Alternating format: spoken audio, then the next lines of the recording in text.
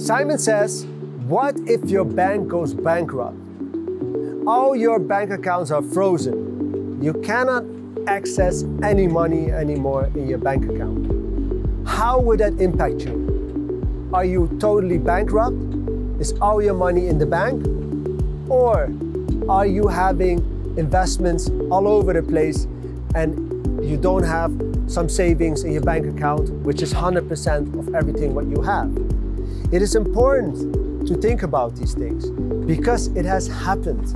Unfortunately, I've spoken with people, multiple people, where their bank went bankrupt and they lost all their money or they don't have access anymore to their bank accounts.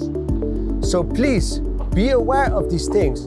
Sometimes you think the impossible will not happen, but what if the impossible will happen? When your bank goes bankrupt, you need to be prepared for that in your mind.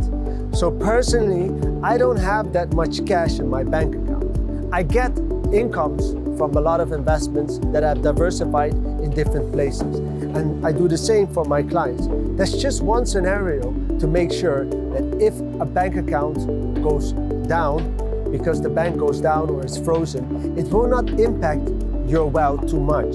So please think about these things because it can happen one day and I don't want you to lose all your money then or a significant amount of your wealth. My name is Simon Snelder. Goodbye